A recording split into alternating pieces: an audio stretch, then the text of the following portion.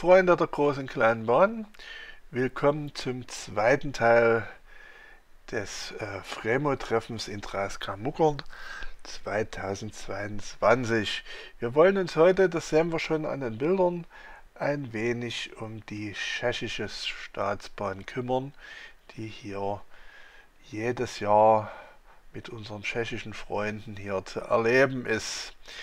Das ist jetzt hier auf dem Arrangement, das Bild kennen wir ja schon vom ersten Teil, ähm, der blaue Bereich. Wir haben jetzt ganz unten den Schattenbahnhof Plagwitz, ein Stück Halbstrecke und von dort zweigt dann dieser tschechische Ast ab.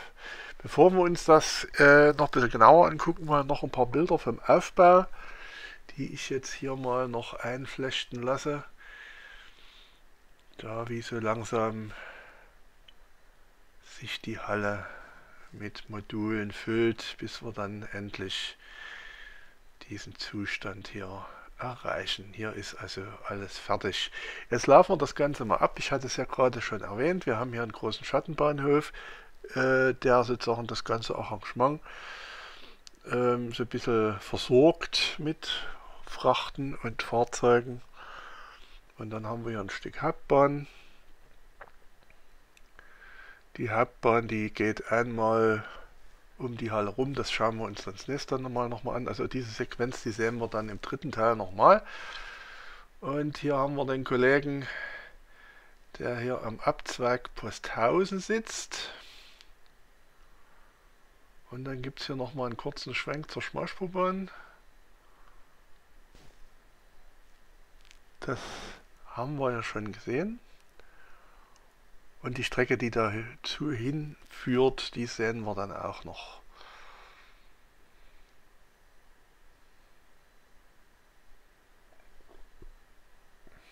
So, dann haben wir hier den Bahnhof Locket.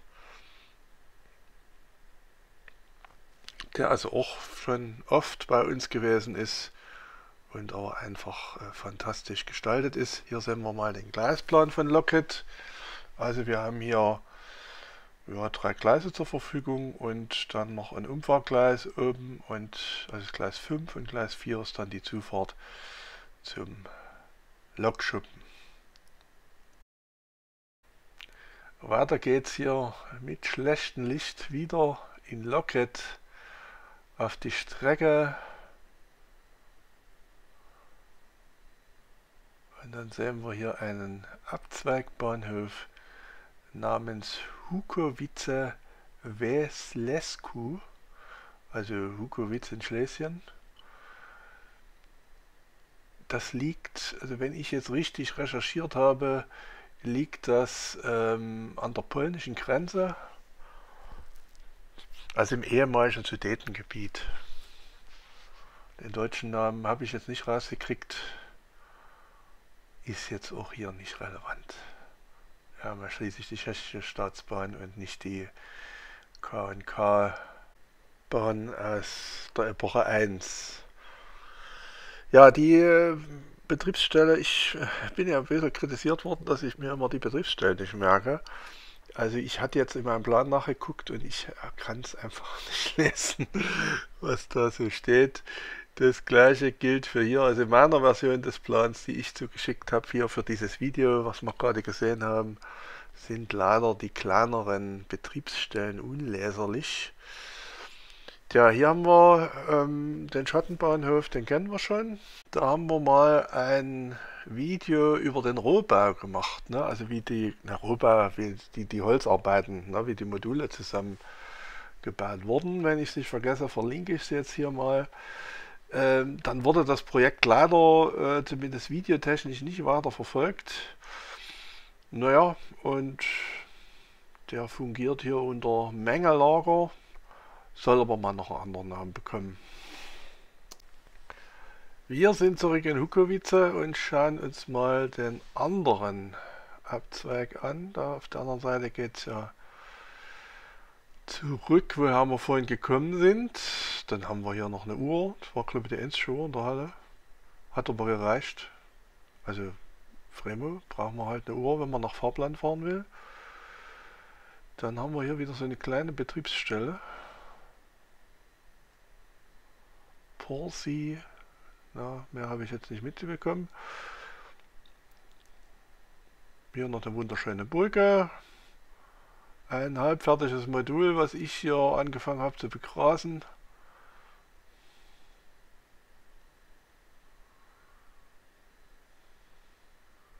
Dann haben wir Elkovice.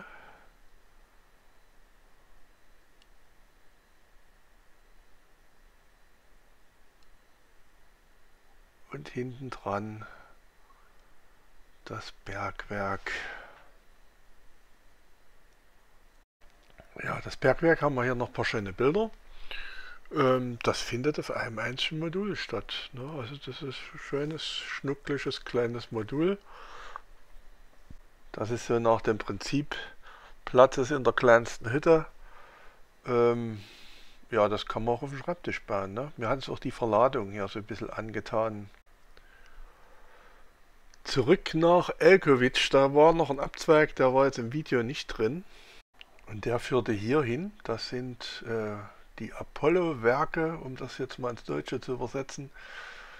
Äh, eine chemische Fabrik die sehr, sehr schön gestaltet war. Also auch so vom Gleisplan, das war, war sehr, sehr schön. Also die Tschechen bringen immer schöne Sachen mit. Kann man nicht meckern. Hier ist dann nochmal kurz der Abzweig zu sehen und ein paar Bilder aus Locket. Ja, ähm, wir schauen uns jetzt mal noch eine Runde Bilder an. Hier haben wir übrigens den Bahnhof, wo ich den Namen vorher nicht lesen konnte und genießen einfach mal die Szenen. Also wie gesagt, das ist äh, jedes Jahr wieder aufs Neue, was die Tschechen da mitbringen. Äh, das sorgt immer wieder für Begeisterung.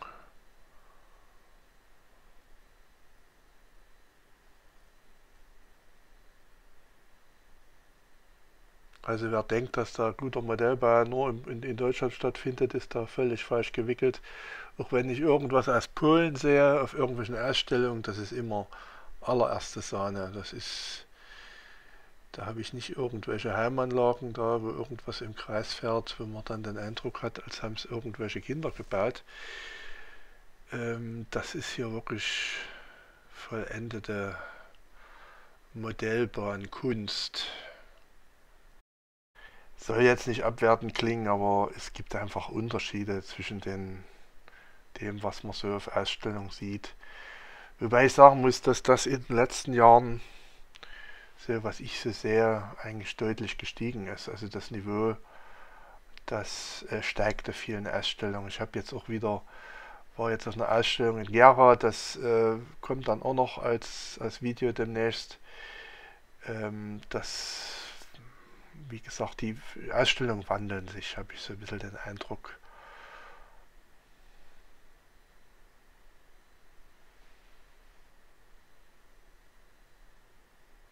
Oh, jagt einer Holz. Das sind so viele kleine Seen, auch wenn ich die Grasfläche hier sehe, das ist also wieder Locket. Das ist ja wirklich, also sorry auch, dass die Bilder so ein kleines bisschen durcheinander sind. Also ich bin da mehrfach gekreist und habe dann selbst sind die Bilder jetzt nicht in der Reihenfolge, wie das Arrangement ist, aber das ist, tut glaube ich jetzt auch nichts zur Sache.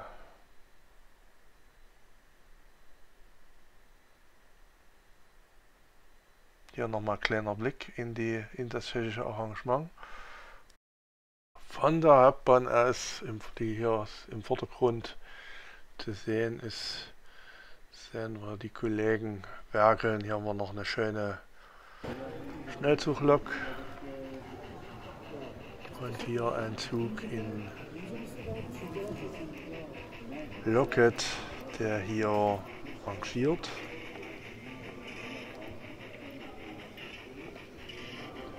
Also über die tschechischen Lokomotiven werde ich mich jetzt nicht auslassen, was das für Baureihen sind. Da, ich glaube, ich habe hier eine 414 gelesen. Das ist sicher eine Lok, die noch von der KNK Eisenbahn stammt.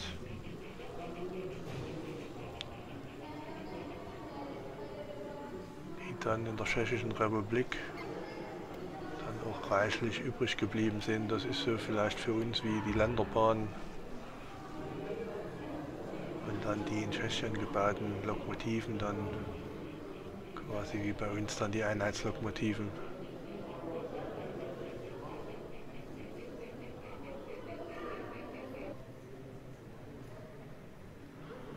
Ja, hier schöne Landschaft. Und es kommt ein Zug.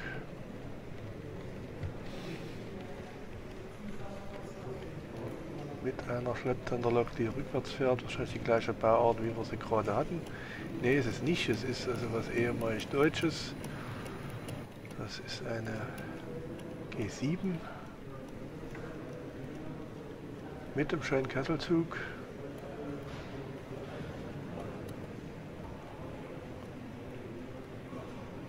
Der hier glaube ich in Richtung Chemiefabrik unterwegs ist, weil der Apollo hat irgendwie, da war glaube ich Petrochemie, was da die Firma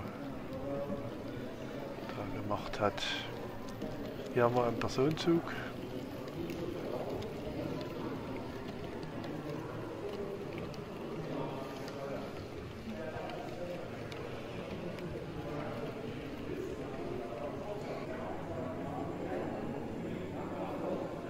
Werden sich jetzt über die Hintergrundgeräusche wundert. Ich habe jetzt hier den Ton angelassen für den Fall, dass mal eine Lok einen Sounddecoder drin hat.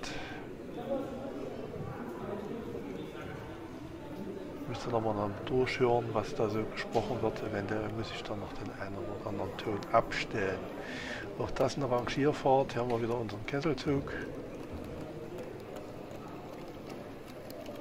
Ja, mit dem Flackerlicht im Führerstand. Das ist aber sicher nicht beabsichtigt. Das ist einfach, äh, dass manche Leuchtdioden einfach flackern im Video.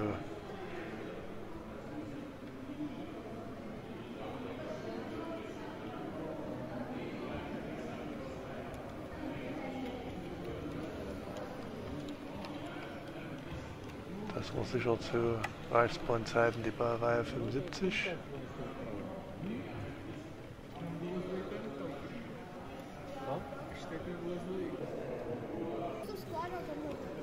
Also nach dem Anschluss Österreichs war sicher eine alte, auch eine alte KNK-Lok.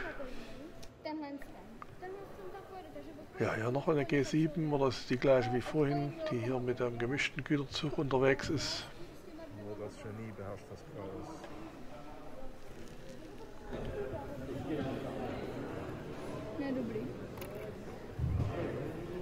Please do go. Und ein Triebwagen der DAG unterwegs im tschechischen Ast.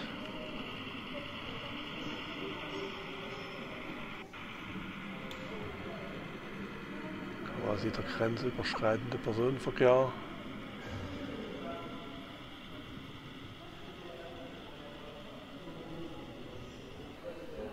Es kann auch sein, dass ich das beim freien Fahren aufgenommen habe, da bin ich mir jetzt nicht so sicher. Und ein tschechischer Schnellzug. Ich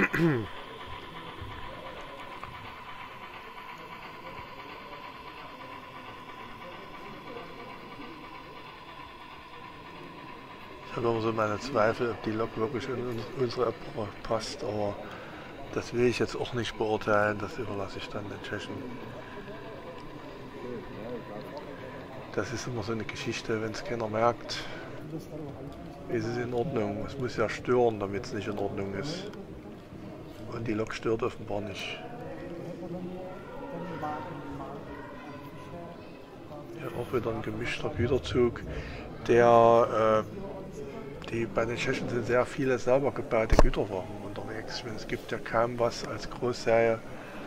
Und da ist halt ja, das ist auch jetzt so ein grenzüberschreitender Verkehr. Oh Gott, eine Baureihe 53, ich weiß gar nicht, was das preußisch war, die hier mit meinem Packwagen unterwegs ist, ich habe ich gerade gesehen. Die Lok hat man vorne auf dem Foto.